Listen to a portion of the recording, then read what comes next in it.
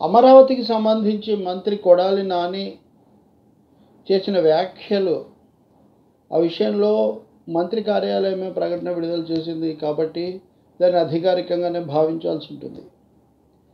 చూస్తూ ఉంటే అసలు అమరావతి కావచ్చు ఏ ప్రాంతమైనా కావచ్చు దాని పట్ల పాలకులకు పాలక పార్టీలకు ఎవరు ఏ ప్రభుత్వం ఉన్నా సరే అంత ఆషామాషిగా ఉందా అనిపిస్తుంది.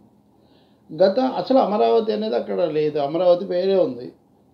ఇక్కడ అమరావతి రాజధాని కడతాము సిఆర్డీఏ దీనికి అమరావతి అనే ఈ సముదాయానికి పేరు పెట్టింది చంద్రబాబు నాయుడు. పెట్టిన తర్వాత ఆయన దాన్ని ఏం పూర్తి చేయకుండా ఆయన దిగిపోయాడు. వీళ్ళు వచ్చారు. వీళ్ళు అంతకుముందు ఏం అభ్యంతరం పెట్టలేదు. వీళ్ళు వచ్చిన తర్వాత జగన్ ప్రభుత్వం ఏర్పడి ఒక ఆరు నెలల తర్వాత వాళ్ళు పాలనా వికేంద్రీకరణ పేరుతో మేము మూడు రాజధానులు చేస్తాము. విశాఖపట్నంలో పాలనా రాజధాని అమరావతిలో శాసన రాజధాని కర్నూలులో న్యాయ రాజధానిని ఒక కృత్రిమమైన వాదన వాళ్ళు తీసుకొచ్చారు. నిజానికి అసెంబ్లీని కొనసాగించడం తప్ప శాసన రాజధాని అంటూ విడిగా ఏమీ ఉండదు. శాసనసభ జరిగితే జరిగినప్పుడు అది కూడా.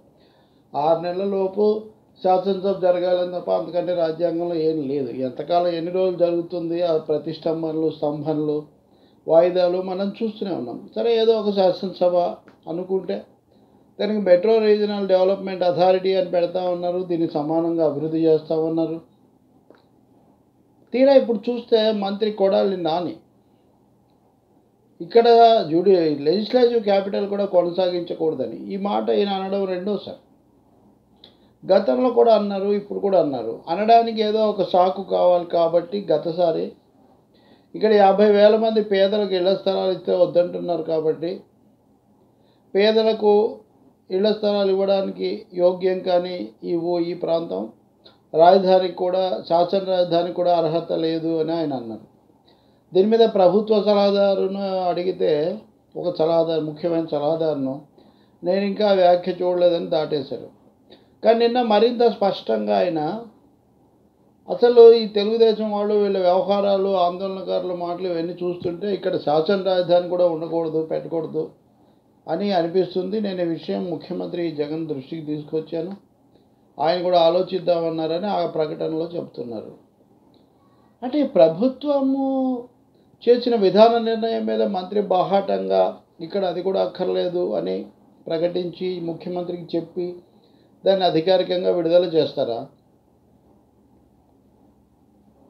రెండోది అసలు అలాంటప్పుడు ముఖ్యమంత్రి మాటకు శాసనసభ చేసిన తీర్మానానికి విలువ ఏంటి?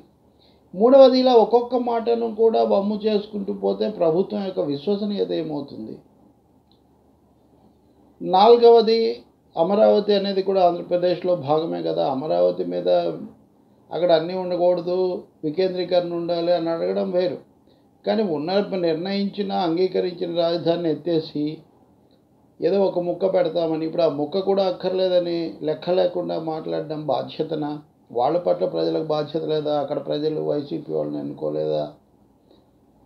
వీటిని ముఖ్యమంత్రి ఎందుకు అనుమతిస్తున్నారు? ఇక్కడ రెండు సందేహాలు కలుగుతున్నాయి. ఒకటి కావాలని ఇలా అంటే మాట్లాడుతున్నారు. ఎందుకంటే బొత్స సత్యనారాయణ సీనియర్ మంత్రి. ఇది రాజధానికి సూటబుల్లా కాదా అని మాట్లాడినప్పుడు అప్పటికి ఇంకా ముఖ్యమంత్రి మాట్లాడలేదు. అప్పటికి ఇంకా అధికారికంగా విధానపరమైన మార్పు రాలేదు. తర్వాత నెమ్మది నెమ్మదిగా అది విధానపరమైన మార్పు అయిపోయింది.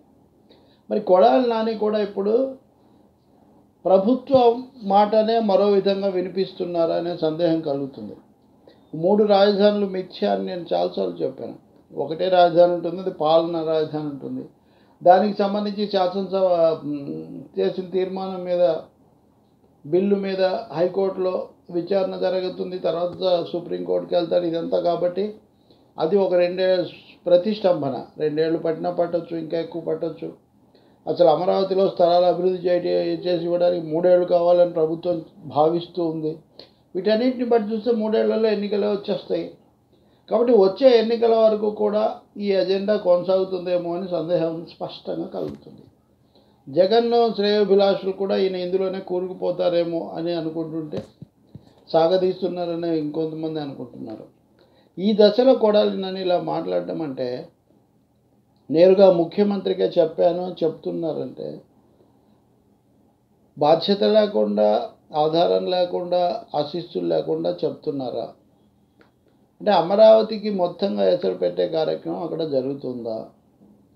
జరిగితే గత ప్రభుత్వము దాని విధానాలు దాని తప్పులు పక్కన పెట్టి ఈ ప్రభుత్వము మొదలు చెప్పకపోవడము చెప్పకుండా మార్పు తలపెట్టడము మార్పు తలపెట్టి కూడా మూడు రాజధానులు అంటాము. ఆ మూడు రాజధానులు అన్నది కూడా ఇప్పుడు మంత్రులే ఇలా అడ్డంగా మాట్లాడడం ఇది చాలా అభ్యంతరకరం.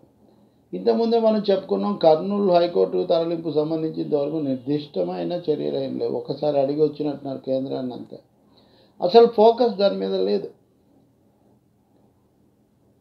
అంటే కర్నూలులో న్యాయ రాజధాని ఆలస్యమై అసలు కదలిక లేక అమరావతిలో శాసన రాజధానిని కొనసాగించడం అన్నది కూడా అనవసరం అని మంత్రులే చెప్తుంటే మిగిలేదేంటి? రాజధాని తరలింపే కదా. ఇంకా అప్పుడు తరలించడం లేదు తరలించడం లేదు అని అదే మాట వల్లించడం ఎందుకు?